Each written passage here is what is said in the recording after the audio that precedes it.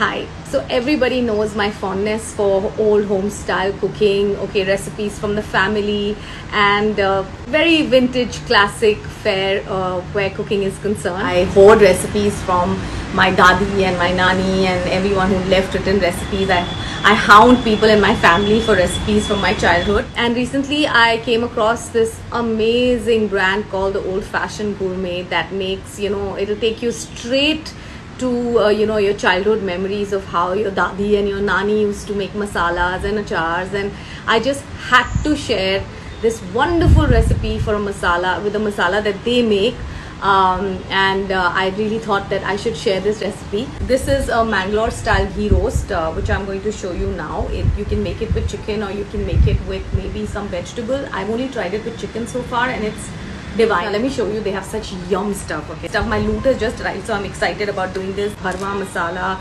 There's aloo dum masala, another favorite of mine. There's Chinese spice spice. Their chili flakes are like to die for.